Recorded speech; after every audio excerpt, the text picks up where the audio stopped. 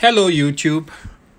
Welcome to another video. Uh, this particular one, I had it, uh, I was planning to have it released on the 2nd, which was the exact date of uh, the one year anniversary of the Mahindra Roxor in the United States or worldwide.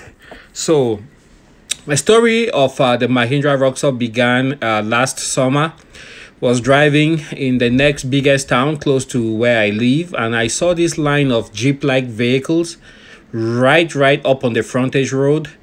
Uh, and it kind of intrigued me. Saw it the first time and then the second time and the third time I couldn't resist. I stopped my vehicle jumped out to check out these vehicles see what they were. From a distance it looked like they were made out of plastic and then with their roll uh, over protection system which is kind of geared towards you know uh, bigger framed people it made the vehicle look kind of uh, out of proportion. It looked kind of toyish. Uh, but when i approached the vehicle i realized it was all metal construction. Uh, the components looking underneath they were beefy like really heavy duty kind of uh, components.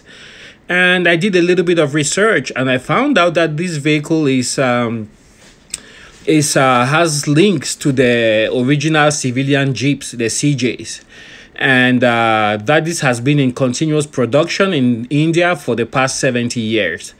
Uh, so I was intrigued, and uh, that just sold me. Uh, the construction, manual uh, transmission, diesel engine with a turbo, and then the beefy beefy beefy construction uh, the components that were used as you can see here underneath that sold me. And uh, i knew i had to get one of these. So within a month of first seeing the roxor i ended up purchasing one. So these are initial images from last summer when i saw the roxor and i came back home and i would see it and look at the images and just dream of myself driving one of these or owning one of these um, these were the early production ones. Uh, back then, uh, there was an easy and popular modification that people did.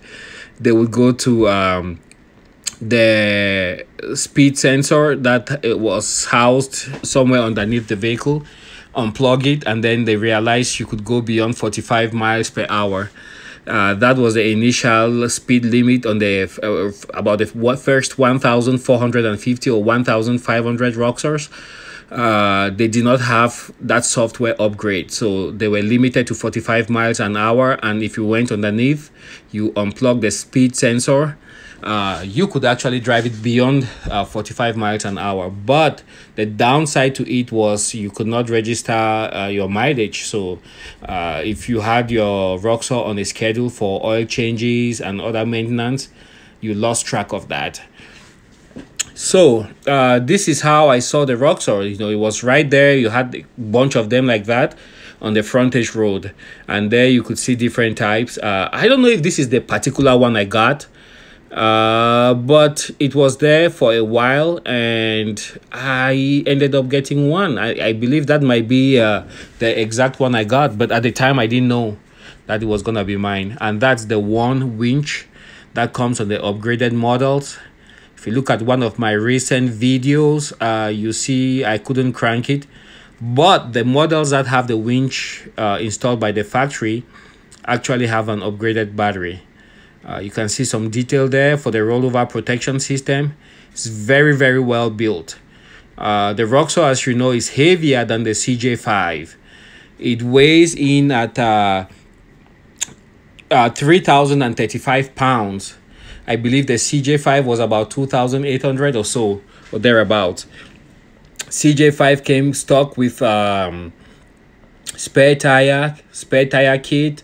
It came stock with uh, i believe a big uh, inline uh, six cylinder engine. It also had um uh what else? Well doors. But the Roxor that looks you know very small. It's actually longer than the cj5 uh comes in way way much heavier. Uh, and most of it is built because of the construction so that's when I got mine, brought it home, tried flexing it, having fun with it. uh, driving around the neighborhood uh, hooked it up to that Dodge uh, truck. That's a Dodge three quarter ton truck, and I was able to pull it. And then the cold weather came. So I brought it indoors, got myself some locking uh, hubs for the front. Uh, that's the part I took off uh, to install the hubs. That's inside the garage. It was already getting cold. That's the engine. Uh instead of going with a traditional tune i used a dieseltronic tune. That's the box right there. It's just a piggyback tune. You just clip it on there and it gives unbelievable performance.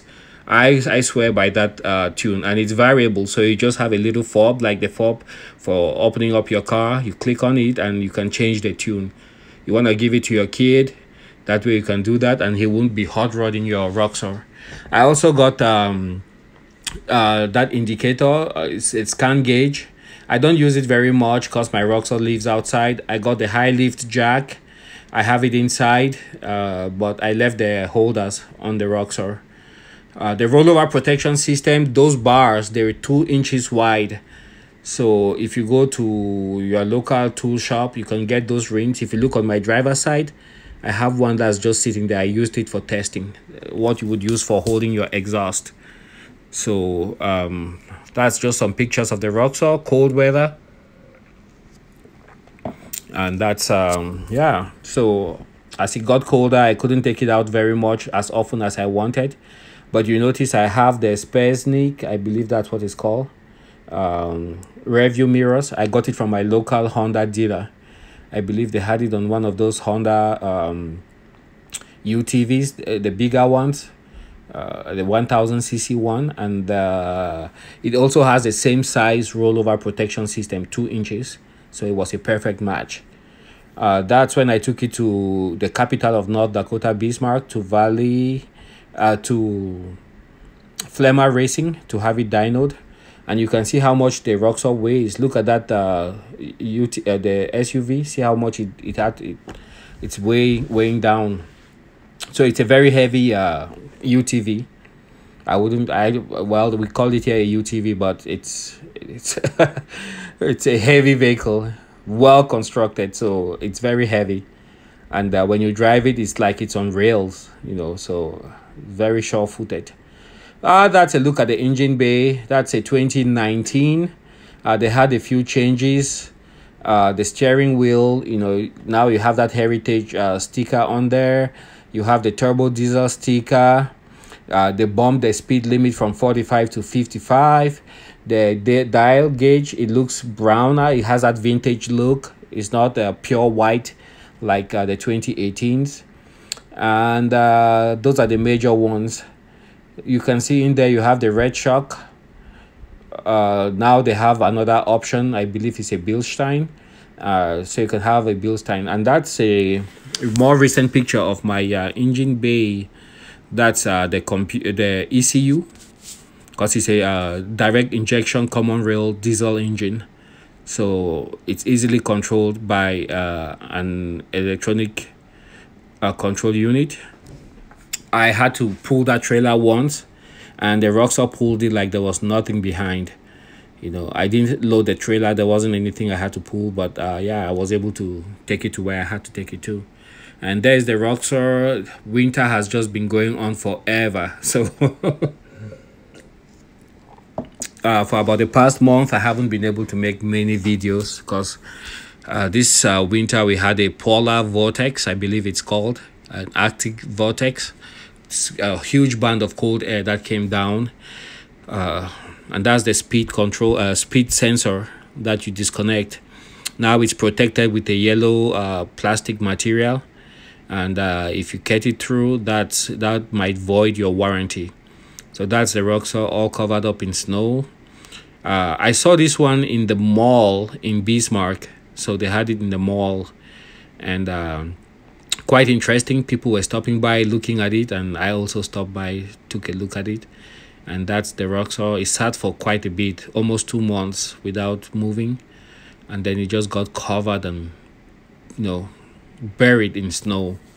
And I did a video when I cleaned it up. That's after I did an initial cleaning. Uh, there was still quite a bit of snow inside.